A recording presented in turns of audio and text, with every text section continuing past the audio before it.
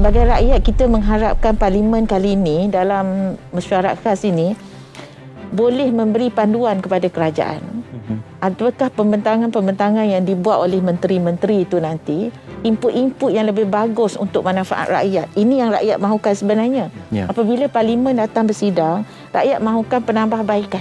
Mm-hmm. Kalau kerajaan salah, just tegur yeah. pada saya, tegur dan berikan cadangan.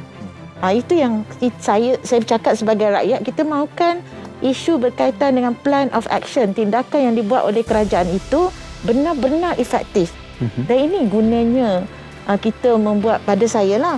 Ini pentingnya persidangan parlimen tu. Mm-hmm. Kalau kehadiran uh, ahli parlimen tu mengecewakan rakyat, kalau se- seperti sebelum-sebelum ini, kalau mengecewakan rakyat, rakyat akan kecewa lah. Mm-hmm. Ambil kehadiran lemah, rakyat akan kecewa lah kan. Yeah. Jadi cadangan-cadangan yang bermanfaat kepada tindakan bagaimana kerajaan boleh menambah baik uh, cadangan-cadangan mereka itu mestilah kerajaan pun akan jadi defensif kan hmm. oh saya buat dah terbaik dah tapi sebagai rakyat mereka akan menilai apa yang dibentangkan oleh ahli dewan itu nanti apakah yang mereka mahu cadangkan penambahbaikan contoh uh, uh, apa nama nak bagi bantuan kepada rakyat ke macam mana ke. So kami kita rakyat ni mengharapkan supaya ahli parlimen tu uh, betul-betul fokus.